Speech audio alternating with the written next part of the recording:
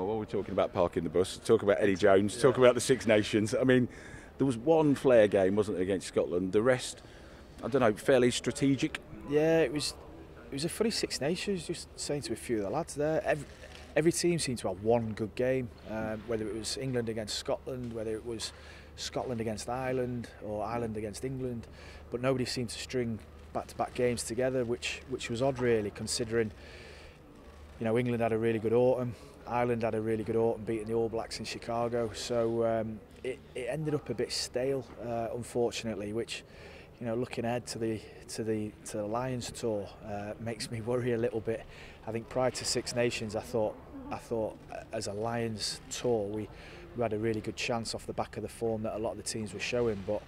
Um, just looked a little bit all the teams looked a little bit rusty in the in the Six Nations but you know I still think uh, I still think the boys will be going over to New Zealand, you know, confident. Uh, there's a lot of lot of boys in form, um, so it'll be interesting to see how it goes. A bit more Scottish representation this time around because they did perform well, and Warren Gatland sort of challenged them when they came to Twickenham, you know, to get their places on the Lions tour, didn't he? Yeah, and I and I think I think consistently Scotland have, have, have, improved most out of out of all the home nations. Really, you know, Stuart Hogg's got to be got to be nailed on. He's you know he's out and out one of the best back three. Um, you know the the Gray brothers um, have, have both done really well. So you know there's there's some talented boys in that Scottish team, and um, you know I'm sure that you know they'll get a few boys representing. Who goes as number ten in your mind after the after the nations? I think if Johnny Sexton can stay fit, um, I think he'll he'll probably nick that shirt with, with Owen Farrell at 12. I think for me, Owen Farrell is just an unbelievable player. Um, but I think the way he's he's slipped into that 12 spot for England with, with Ford at 10, um, you know, he, he just adds such a different dynamic to the to the team. So I think if Johnny Sexton stays fit, he'll be the starting 10 with, with Owen at 12. Could Biggar be disappointed with that? Um, I, th I think you know Biggar's Biggar's done well for Wales, um, and I think he'll you know I think they'll probably take three tens. They'll probably take because um, Owen can slot in at 12 so so easily. Um, you know the chances are they'll probably take the three of them. To be honest, um, if if they're the three that Warren goes with. Who would you? Who do you think would be your starting 15? Or is to rattle through them all now. It's a no difficult chance. one, isn't it? My back line, I'll go with my back line. Um, it'd be Conor Murray from Ireland, Johnny Sexton, um, Owen Farrell, Jonathan Joseph. Back three's tough. I'd probably go with, I'd, oh, I'd definitely go with Stuart Hogg at 15. I'd go with Liam Williams on the left wing from Wales. And oh, the other wing spot would be close for me between Jack Nowell, um, Elliot Daly, and probably George North. Yeah between between those three. Any nail-ons to go apart from Stuart Hogg?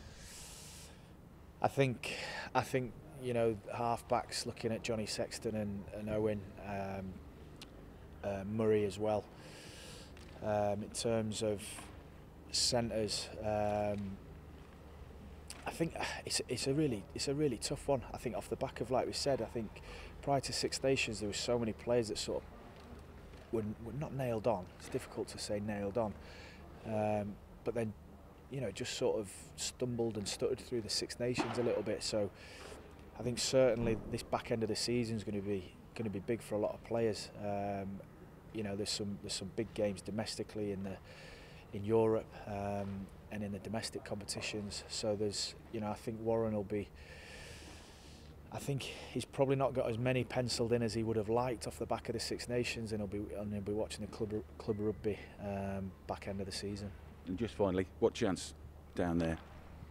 It's going to be it's going to be tough, mate. Um, you know, I was I was a part of that team in in 05 that that went down there, and you know, on paper we had an incredible team. You know, players, you know, players like Paul O'Connell, Brian Brian O'Driscoll, uh, Jason Robinson, Dallaglio, you know, we, we had an unbelievable team on paper and, you know, we, we were up against an All Blacks team that were just equal. It was this, it was almost the start of their 10-year do, uh, dominance with, you know, Dan Carter and Richie McCaw and, you know, these sort of players. And, um, you know, the midweek team went pretty well, as you'd expect. But then, you know, the, the three test matches were just such a battle. Um, you know, and, and for them, it's, it's a one in a lifetime opportunity to, to play against the Lions. Um, you know, it's once every 12 years.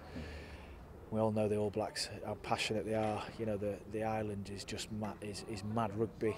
Um, I think I think it'll be tough. I do think it'll be a tough, but like I said, I think I think we've we've got some really good individuals across the home nations. Um, you know, and, and hopefully, you know, Warren Gatland's uh, proven to to be able to put a good squad together. Um, you know, having won it down in Australia four years ago, so fingers crossed.